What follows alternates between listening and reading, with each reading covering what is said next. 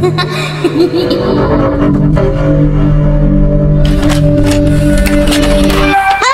I'm Amanda. And I'm Wooly. Answer my question. You don't have to answer that. You can get hurt almost everywhere.